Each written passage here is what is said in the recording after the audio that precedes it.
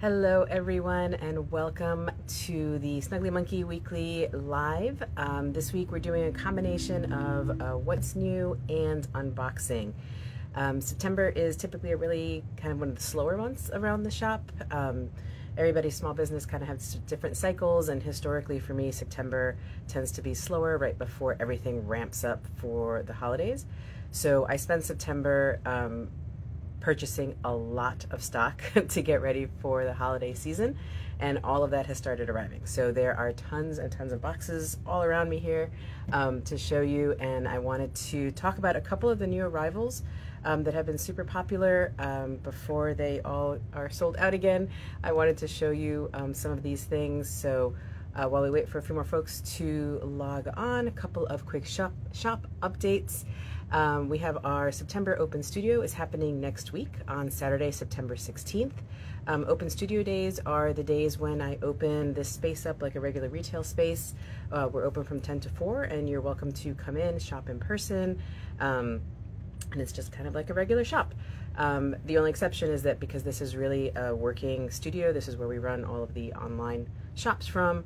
Um, there's no prices on anything, um, and we are cash only. But if you are in the Durham area um, next weekend, then uh, please feel free to stop by. We'd love to see you. Um, classes are starting this weekend. So this Saturday, I'll be teaching Sashiko 101. Um, I've got three sessions of Sashiko 101 happening this fall, and then one session of Sashiko 102, which is the Hitomezashi class, and one session of um, Sashiko 103, which is the Kuguri Sashi or the Stitch and Weave um, class. And then um, I will be taking a break from teaching until fall of 2024. Um, so if you had been wanting to take one of these Sashiko classes, um, head over to the snugglymonkey.com and look under our classes section um, and you can register there. All right, so let's jump into some of the new items first. So a couple of weeks ago, um, I debuted the Trailhead Yarns Tencel thread.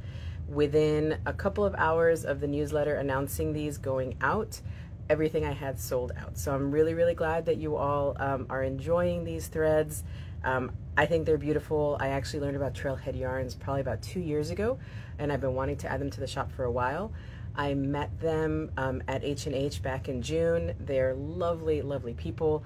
Um, and I was able to see all the thread and all the projects that they've made with them. And I was convinced that I needed to add them to the shop. So um, I've started out uh, with adding their thread collections. These are their thread rings, which include 25 um, bobbins of their Tencel thread.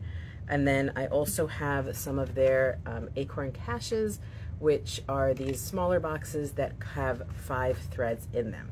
So if you're not familiar with Tencel thread, Tencel is a fiber that is made from sustainably sourced wood pulp, specifically of eucalyptus trees. Um, Trailhead is uh, based in Canada, which is where they hand dye all of their threads. They get their thread sourced from Germany. Um, and sustainability and um, eco-friendly packaging is really, really important to them, which I really appreciate. So all of their threads are packaged on these aluminum bobbins that you can um, reuse over and over again. Um, and so they're just really conscious of all of their packaging, which I really appreciate. So the first time that I ran across Tencel was when I was taking a floor loom class. Um, and so this is not a, something that I made myself. I bought this from a weaver, but this is a, a Tencel wrap. Um, so Tencel is really popular in weaving because it is very soft, it's very durable, it has beautiful drape, and it has this really bright sheen. So all of those features are in the Tencel thread. Super soft, very durable, and the colors are just so vibrant. Um, and bright. So with the restock, I got uh, some of the, almost all of the colors that were in the first round. And then I also got some new collections like the Glacier and the Field of Flowers. Um, so there's just loads and loads of colors now for you to choose from. Um, going forward, they do sell the, their thread in individual bobbins, like in a case. Um, so I'm just kind of trying to determine how much folks like it, whether or not to stock all of their colors because they have hundreds and hundreds of them. Um, so for now, we're going to stick with the color collections. Let me know what you think of it. Um, so when I was at their booth at H&H, some of the projects that they used uh, their thread, obviously hand embroidery, um, but they used it for, they had a Sashiko sampler pillow that they had done, which was beautiful. Um, so it's not the traditional, obviously Sashiko thread has a matte finish, doesn't have a sheen to it. This is very shiny, so it was a really different look, but it was, a, they had a, it was a navy sampler, um, and all of their threads are hand dyed, so you've got that kind of natural variegation to it. Um, and so it looked really, really pretty. It was really different from a lot of Sashiko that I've seen. They um, used it for hand quilting, applique, um, so it's a really versatile thread that you can use kind of in all sorts of different applications. Um, and it's back in stock. So if you missed out on the first round and wanted to um, grab some, we've got uh, lots more in stock. So head on over. If you search for Tencel, T-E-N-C-E-L, um, you'll be able to see all of the colors or the company is called Trailhead Yarns. So let me put these off to the side. So the other um, kind of big new arrival recently is um, the new train cases from Della Q. Um, again, this is another uh, company that I met up at H&H that I had been looking at for a long time and getting to see them and touch them in person um, was the convincing factor that I wanted to add them to the shop.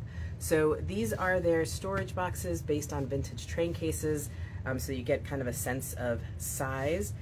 The, um, they come with two different handle options. So I have it mine set up with um, the little handles. Good morning, thank you for joining me. Um, it also comes with a shoulder strap so that you can attach it at this buckle and at this buckle and then carry it on your shoulder. Um, so the train case um, my shop assistant Erica is watching and she says they're gorgeous in person. She is absolutely right. They are gorgeous in person. um, so this is the teal color. Um, they have all metal, brass um, uh, fixtures on them. Not fixtures, what is this? Uh, bag hardware. Um, there's little brass feet if you don't like setting your bags on the floor. So they designed these for knitters. Um, they have the little yarn feed uh, pockets here on the side. So your uh, knitters and crocheters, you can put your um, yarn on the bottom, feed it through here, and same like a, uh, what's that called? Like a knitting bowl or something. Um, so it works that way. But I'm not a knitter. Um, I was able to use this and fill this up with all of my sashiko uh, embroidery and some of my uh, crochet amigurumi projects are in here, so I'll show you what I have. Que belleza. Yes, it is absolutely beautiful. I love these cases. So the first cool feature is that this top uh, lid is magnetic. So using needle minders and some included magnets, um, I've attached all of my patterns um, up here to the top. You, you, can also see I've got some scissors up here. This is like a velvet, really soft velvet interior. Um, and so some of the embroidery floss that I divided down for one of the hoops I'm working on it actually sticks to the velvet really nice. So it kind of helps keep all of my supplies that I'm using quickly um, right here on the lid, which is really nice. So it has two parts. It has this uh, removable top lid uh, where I have one of my Sashiko projects. I've got some thread conditioner. Um, I've got some embroidery floss. And then in the bottom is quite spacious. Um, and I've got several different projects going on in here. I've got um, some of my crochet hooks, this is one of the woobles that I'm working on right now. It's the dragon, even though he kind of looks like Grimace at the moment. Um, what else? I've got my embroidery stitch kit is down here. Um, and then just some extra, I've got some extra yarn um, and such for the um, crochet projects that I'm working on. So it's quite spacious. Um, it fits up to, the bottom section here can fit up to about a five inch hoop fairly comfortably um, on laying flat on the diagonal you can get a six inch hoop in there um, so it does fit embroidery hoops it's great for sashiko projects and like I said they really um, built this with knitters and crocheters uh, in mind because you can feed your thread through these little side bits here um, which could also work for if you are like um, hand quilting using a ball of pearl cotton. You can do that, leave your ball inside the case and then feed the, um, the thread out through the side and it keeps it contained so it doesn't go rolling all over the place. So these are the uh, train cases. The company is called Della Q, D-E-L-L-A capital Q. Um, let's put Grimace back in here. And uh, the, I have them in five different colors. The um, indigo sold out pretty quickly, which was the dark blue, but I still have them in teal, maroon, plum, um, and I think the sage is also sold out at the moment. So going along with the train cases, there are the Maker's Buddy cases. So these are small um, little tool cases that are meant to coordinate. They come in the same colors as the train case, same style, same uh, bag hardware, and they are magnetized on both sides of uh, the interior of the case. So um, this is, and these you don't need any magnets. The magnets are in here, so your metal um, tools will go ahead and adhere to the sides of the case just all on their own. So I've got some needles in here, I've got um, a pair of scissors, and it stays nice and secure with the snap closure. So these are also really cute. These I have in the same exact colors as the train cases. So if you wanted to coordinate, have them in the same colors, you can do that. Um, or you can have two different colors. So these, this is one of the other um, really popular recent new arrivals. Um, and there is just lots and lots of great new stuff that is arriving for the holidays. So let's start jumping into unboxing some of these boxes that have um, arrived um, Erica last worked on Tuesday, and so she's not quite aware of all of the boxes that are waiting for her when she comes in um, later on this morning. But there, we've gotten a big restock. First one is from Dropcloth Samplers. I was running low on several of the samplers. Uh, Rebecca taught two classes with Snuggly Monkey this summer. Um, she did a Milky Way class and a Rainbow Yo-Yo sampler. Um, and so all of those are in this box. So all of the um, samplers that had been out of stock are now back in stock. So if you're not familiar with Dropcloth samplers, um, Rebecca Ringquist is the artist behind these embroidery samplers. And what you get in here is a pre-printed uh, sampler. So a lot of the samplers already have some color on the sampler that's printed on there. And so you're kind of stitching with that. There are no stitch guides in here. There's no threads. There's no supplies other than your pre-printed sampler.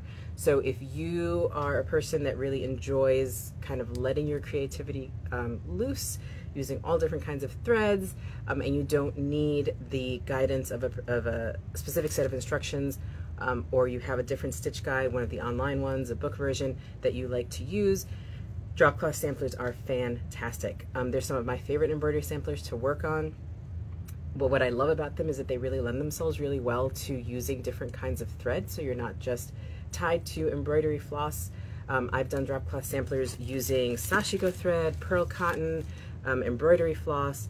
I am um, looking at doing one in the new Trailhead yarns because um, I want to test those out a bit more. So her samplers are kind of a mix between, she's got a series of um, kind of these learning samplers where you get to practice different stitches.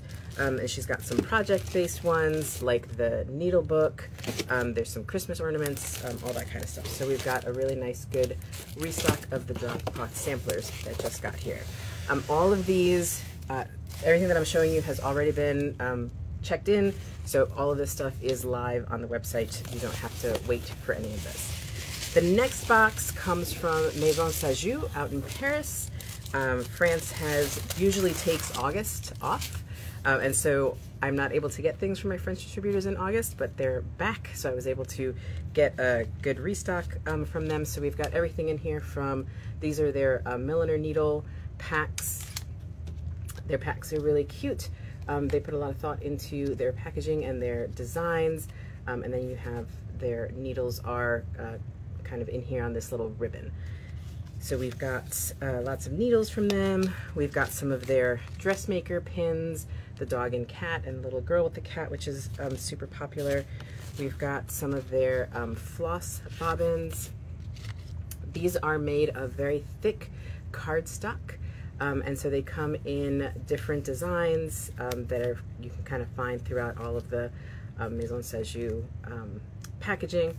Um, I've got, these are their um, Art Nouveau ladies. I've got bicycles and butterflies and colorful vintage bobbins and all sorts of things. So lots of the bobbins are in here. And then this is, I was able to get their wooden haberdashery items are very popular and we are, as stockists, we're limited in how many we can order at a time. Um, and so this is their wooden needle and pin box, um, which is very popular and I'm only able to get about four of them whenever I place an order. So I have my four, they're back in stock at the moment. Um, and what these are, they're just beautifully crafted. Um, they they work with a gentleman who is a master woodworker um, outside of Paris and he makes these for them. Um, so they're really beautifully made. and so you have in French, you've got pins and needles written here. And what it is is just uh, these are little hinged lids so you can store your pins and needles in here. So it's just a really sweet little wooden storage case. Um, so at the moment, there are four of them.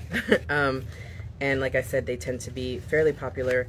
Um, and I get as many as I can whenever I can. Um, but there you go. So that is the box from Maison Sajou. All right. So the next box here is um, huge and it's kind of a mix of all sorts of things. We've got um, some of the Cosmo Hidamari thread. The Cosmo thread is a medium weight um, Sashiko thread. It comes uh, wound on these cute little cones so you don't need to turn these into um, thread braids or anything to use them. You just pull off the length of thread that you want to use. Um, and uh, so that's a good restock of those what else do we have in here? We've got, um, we have a couple of the kakehari clamps. So this set of clamps, if you're not familiar with a kakehari, it is a um, a tool that is used in sashiko, but it's actually a, a really old tool from the 1800s um, that is known as a sewing bird um, here, uh, kind of in the United States and Europe, or a third hand. Um, and what it does is it puts tension on your fabric when you're stitching in hand, uh, where you, so you don't have to um, use your hands to create that tension. This kind of handy tool does it for you. I've carried them for years. I just got the updated price list from Tulip um, because like everything else, they're raising their prices. And uh, I was pretty shocked to see that uh, their kakehari sets are um, almost tripling in price. So I'm not sure that I'm going to be continuing to stock them because um, the new price makes them very, very expensive. So what is in the shop right now um, is staying at the same prices that it has been. Um, and I'm to have to have think about uh, whether or not I restock them at the new prices. So if you have been waiting on a kakehari, um, the clamps have been out of stock for a little while. I've got five of them um, here. So the clamp um, and the kakehari itself are both in stock um, you might want to grab one because like I said, they, for some reason, um, they have just gone up in price tremendously. It's one of the biggest price hikes I've seen. Um, you've got the Sashiko Handy Pocket Guide, which um, is just kind of, it gives you a little bit of the history of Sashiko. It has some um, patterns here in the back. Uh, so lots of folks, this is a very popular item in the shop. Um, lots of folks just have it as kind of a, a quick reference uh, we've got some of the um, Chacopa uh, marking pens. These are water erase marking pens from Japan. They produce a really nice, fine, thin, light blue line. Um, I've used this for years and years and years. I really, really like it. Uh, we've got um, lots and lots of Cosmo Floss is in here. Um, these are, it's both to restock the cabinet and we're also restocking some of our thread sets, um, including the color wheel. So there, like I said, there is just tons and tons of stuff um, in this box, uh, but that kind of gives you an overview of what is in here. All right. Next up, we've got some uh, embroidery hoops. So this first box, uh, we've got some of the Morgan hoops, um, the 7 inch and the 5 inch size. Morgan hoops are uh, very popular uh, with um, oh my goodness, my brain just blanked. Um, needle, not needlepoint. It'll come to me in a second. Anyway, um, they hold your fabric tension super duper duper tight. So if you are um, a person that likes having very tight, tight fabric, drum tight, and that won't move while you're stitching, the Morgan hoops are great for that. Um, similar to the Eversewn hoop uh, that I love, it has this system where the inner hoop has a channel and the outer hoop has a ridge. They interlock and they lock your fabric in place. So while you're stitching, it will not move. Um,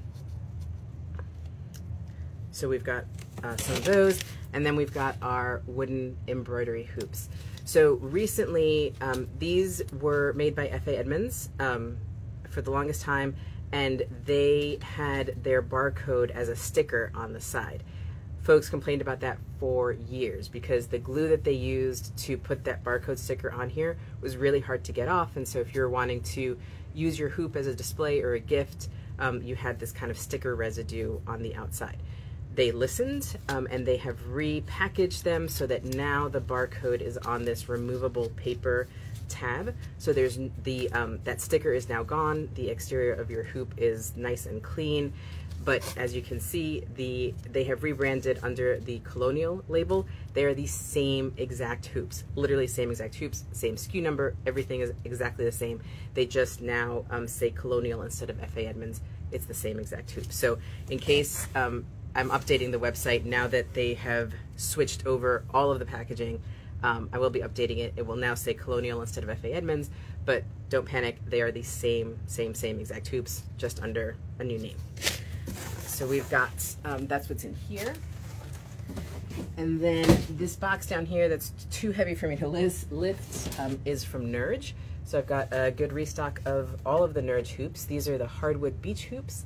Um, these are the thicker uh, 16 millimeter hoops. So in case you uh, enjoy stitching with one of these thicker hoops, we've got all of the sizes back in stock. We also have um, the regular 8 millimeter uh, width hoops are back. And then um, the ever popular rectangular plastic hoops um, in all the different sizes are back as well. The uh, These hoops are, again, similar to the same thing that's in the Morgan hoops and the Eversewn. It has the inner hoop with the channel, the outer hoop with the ridge, so that it helps keep your fabric in place. Um, these rectangular hoops are great for samplers that aren't designed to be round. A lot of the Dropcloth samplers are rectangles, um, squares, and so they actually work really well in here because you don't have to move your hoop around. You can fit the entire design inside of these hoops. Um, so that's what is in this box. Down here is a nice good restock from Nurge. Uh, let's take a look at this one here.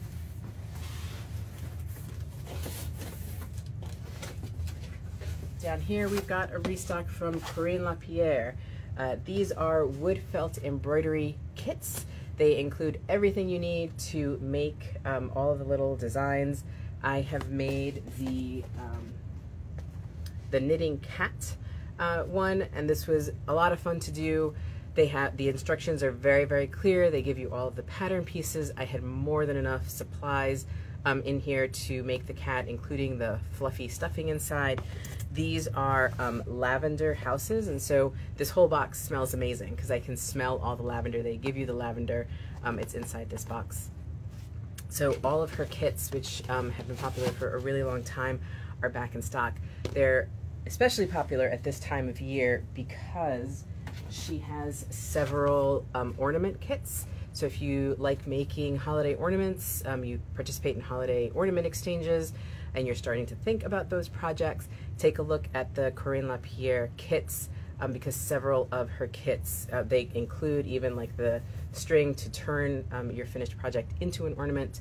Um, so there's lots and lots of um, unique kind of fun and quick to do ornament projects um, in this line of kits. So that is what is over in those boxes over there. And then in this final box down here, we've got the rest of my Hawthorn handmade order um, that got split up. Uh, so these are a relatively new uh, addition to um, Snuggly Monkey. I added these in August, um, and they are very popular, or maybe it was July. Um, so this is their, um, I think it's called Crafty Cats. Yes. Um, this is one of their embroidery kits, and their kits are complete kits. They include everything. The pre-printed sampler is in here, the hoop, the thread, the needles, um, and then an instruction card is in here. Um, and then they also have a line of wood felt uh, embroidery kits as well. This is the Wren, which um, has been very popular. And again, complete kits. The only thing that's not included is a pair of scissors, um, but it even has the brooch back if you want to turn these into little brooches. Um, this is one of their mini embroidery kits called Celestial Deer. Um, and this kit actually, there is a four inch hoop inside of this box. So again, includes everything except the scissors, the needle, the thread, the pre-printed um, fabric, um, all of it is um, inside of this box. So um, this is, I had two boxes of Hawthorn Handmade kits. One arrived last week, the second one showed up this week. So we're excited to have all of those back in stock. So there you go. I feel like the Micro Machine Man, like I just talked a whole ton really, really fast. Um, uh, like I said, lots and lots of uh, restock is happening this month. So if you've signed up for any of those notify me when back in stock emails, um, you should be receiving those as stuff is coming in. If there is something that's out of stock on the website, um, signing up for that notify me when available is the best way to find out as soon as it comes back. Those are automated messages. You're not signing up for a newsletter or anything. It is a one-time email. Um, as soon as that item is hits um, the shop, you get an email letting you know, yay, it's back in stock. Um, and then you can head over and purchase it. So that's the easiest way um, to find out. Yay, will you be doing anything with origami Christmas ornaments? Um, I don't have any plans for origami Christmas ornaments at the moment. Um, that's a that's a great idea though. Um, I do have some origami paper. Um, but it's something that I can definitely look into. Thank you for that suggestion, Nancy. I appreciate it very, very much. Um, there are, I do have more um, holiday and Christmas stuff that is coming. There's actually two of them that are in these boxes that I haven't shown you because I didn't want to show stuff that isn't listed on the website yet, but um, keep an eye out. A lot of the holiday stuff is arriving already, and I'll be getting that listed um, we have this little counter um, at my house and it let me know that there's 109 days left before Christmas. Um, so the holidays are definitely coming and those of us that like to do a lot of handmade things for the holidays, we're definitely starting to think about all of those projects that we have coming in the next couple of months. All right, so there you go. That is uh, this week's combination of a what's new and unboxing. Um, as I mentioned at the beginning, we've got an open studio coming up uh, next weekend on September the um, 16th. Um, and all of the dates for the fall open studios are up on the website, um, so you can take a look at them if you're going to be down in the Durham area during any of those. We'd love to see you. Um, and as always, you can always schedule a private shopping appointment as well um, in between open studios if you wanted to come and shop in person. So excited for the holiday stuff. Me too. There's so much fun stuff on its way. Um, stuff from Corinne Lapierre um, is here. Some stuff from um, Hawthorn Handmade um, is here. Uh, Kylie and the Machine has some really fun um, holiday stuff that should be here in October um, that is different from the um, countdown calendars they've had in the past. yeah, so there's lots of uh, really fun holiday stuff that's on its way. All right, everybody, have a fantastic week, and I will probably see you again next week with another unboxing. All right, talk to you soon. Bye.